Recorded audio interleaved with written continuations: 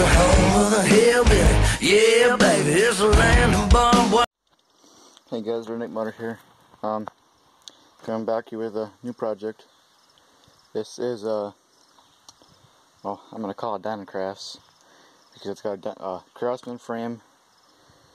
Um, well, basically everything's Craftsman except for the fenders and the hood, which is sitting over there. I have the original, or I think I have the, no, I don't have the original fenders, but I have the original hood, another chassis.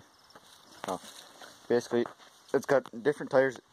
It had small ones, but um, it had these,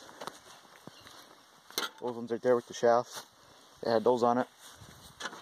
Um, there's the hood it's on it. There's a spare hood, tunnel, dashboard, frame. That's what I got for parts. But these are 20, 20 by 8 by 8s. with the 20, or uh, with the uh, rims had um, 18 by 8.5 by 8s. Got those put on. These front tires are shot, so I'm gonna have to put different tires on. Is a Tecumseh engine. I have no idea what horsepower, but it's not gonna stay in here. Um, actually, let's see. Does it see anywhere on here? I don't think so. I think it's like a 10 horse. I'm not sure. But this thing is not going to be in here. I'm having to be putting that five and a half Predator in here and uh, making this into a rat rod.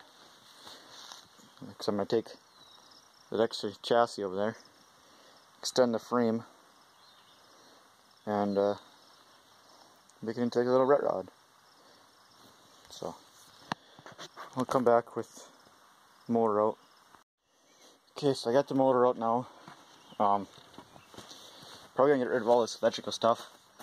There is the carburetor that's for the motor. Well, there's actually two of them here.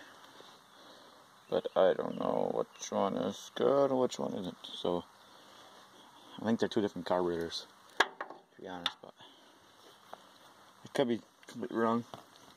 I'm not going to use that motor, so I don't have to worry. I'm just going to keep all the pieces together in case I do want to use that motor later on. I'm probably going to.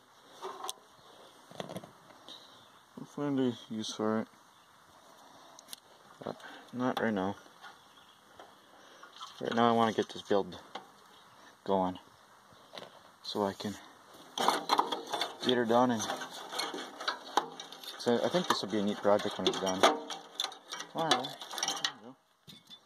Um, solenoid needs to be tightened down. Okay. Well, I'll come back to you when I got the motor put in.